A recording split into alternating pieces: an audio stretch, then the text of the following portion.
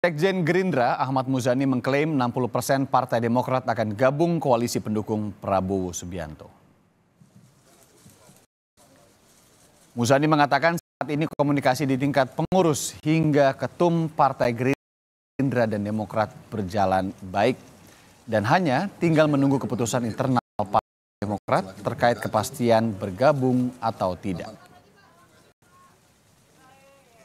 Kemungkinan untuk Demokrat bisa merapat kepada Pak Prabowo. Dan harapan kami, mudah-mudahan kami tidak bertepuk sebelah tangan.